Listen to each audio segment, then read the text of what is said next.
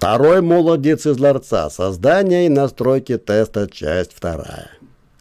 У меня две новости. Одна не совсем хорошая, а другая очень хорошая. Не совсем хорошая новость состоит в том, что далее речь пойдет о сложноватых для новичках настройках. Зато очень хорошая новость в том, что эти группы настроек почти никто не применяет. Например, в разделе «Итоговый отзыв» можно написать что угодно в зависимости от результата. Вы видите варианты текста в зависимости от результата теста в процентах. Согласитесь, что так можно мотивировать обучаемых. Это лучше, чем просто показывать итоговый балл. Например, если в тесте 80% и более ответов, обучаемый увидит вот такой вот результат. Для любого обучаемого и перфекциониста, и рентяя такая реакция на тест будет более ценна, чем просто оценка в 5 баллов.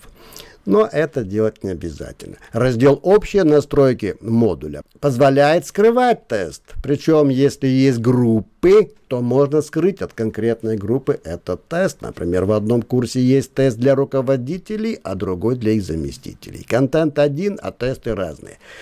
Также полезно скрывать тест, если он еще не полностью готов. Важно, если вы захотите отредактировать вопрос в тесте, вы можете это сделать. Но если вы хотите изменить вопросы из банка, то вам придется вначале удалить все попытки тестирования, и тогда результаты пропадут. Но есть выход. Вы можете вручную выставить оценки в журнале сами. Группа ограничения доступа кажется совсем незначительной. Но на самом деле она вбирает то, о чем никак не могут договориться многие онлайн-тренеры. Это чудесное свойство, которое я называю условный доступ. Дает тому, кто обучает, колоссальные возможности для индивидуализированного обучения. Это значит, что доступ к курсу или к элементу курса может зависеть от условий завершения элемента или других условий. Например, обучаемый не получит доступ к тесту 2, пока не завершит, например, просмотр контента. Группа свойств выполнения элемента также очень полезна для управления качеством. Но для начала надо понять, о чем речь. Посмотрите на вот эти меточки. Они показывают, выполнен элемент или нет. Она важна не только для самоконтроля, но и для реализации условного доступа. А теперь посмотрите настройки этих меток. По умолчанию стоит вариант «студенты вручную могут отмечать элемент курса как выполненный». Студент сам кликает по квадратику и появляется метка. Но это самый неинтересный вариант. Более сильный и умный – это вариант отображать элемент как выполненный при выполнении условий. Правда, тут нужен ваш интеллект. Не волнуйтесь, это легко. Требуется просмотр. Тут все понятно. Просмотрел, значит выполнил. Сколько времени просматривал, неважно. Требуется оценка. Это уже более конкретно. Но если это двойка, то не очень хорошо. Требуется проходной балл. Вот это уже по-настоящему управление качеством. Или все доступные попытки завершены. Тоже интересно, но не так сильно.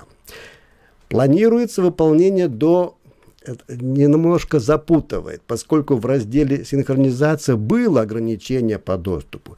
Здесь речь идет о том, что нужно выполнить тест в установленный срок, чтобы считать его выполненным. А это не одно и то же. То есть после срока можно проходить тестирование, но оно не зачтется. Группа теги. Пока не очень популярная среди авторов курса. Возможно из-за того, что появилась не так давно, а теги это метки, которые позволяют фильтровать, тестовые задания при необходимости. И, наконец, самая таинственная для России группа компетенции. Никто их у нас не понимает и поэтому не применяет. Возможно, эту группу настроек вы захотите изучить в специальном модуле, а пока пропустим, а теперь можем нажать кнопку «Сохранить и показать». Тут нас ждет неприятный сюрприз, пока не добавлено ни одного вопроса. Но это неприятность мы сейчас устраним, ведь первый молодец уже давно готов. Нажимаем на «Редактировать тест» и поищем глазами ссылку «Добавить». Выберем там вариант меню из банка вопросов. И тут вот он, почти триумф. Выберите категорию. Это у нас уже есть, видно даже сколько вопросов в этой категории.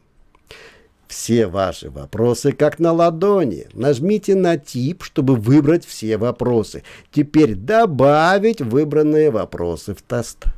Но вишенка на торте тут. Максимальная оценка. По умолчанию 10 баллов.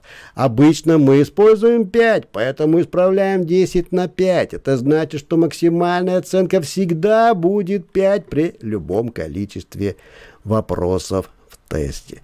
Это все, спросите вы? Да, осталось вернуться в настройки теста и выставить там в группе оценка значение проходной балл, например, 3. Это значит, что метка об освоении этого теста появится только при оценке от 3 баллов и выше. Вот теперь все сделано. Осталось посмотреть на ваш тест и убедиться в том, что он работает как часы. Задание. Завершите настройку теста в соответствии со своим педагогическим замыслом.